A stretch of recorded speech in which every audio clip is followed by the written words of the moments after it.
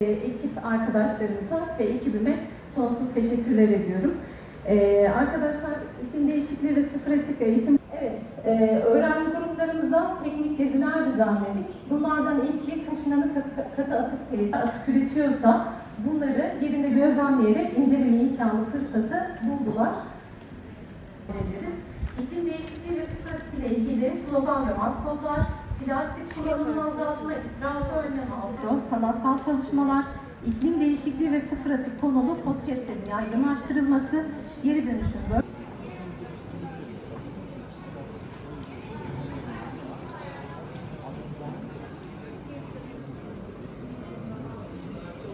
İlk önce evet. Birinci de evet.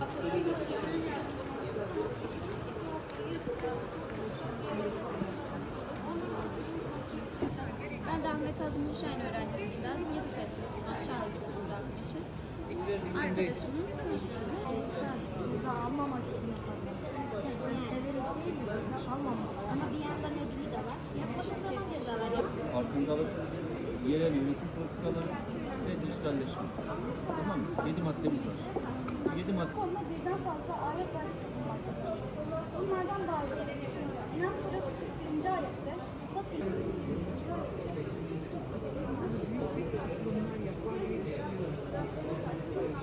geleceğe yön verecek olan öğrencilerimizle dünyamızı, çevremizi size emanet etmek üzere fikirlerimizi konuşmak üzere bugün buradayız.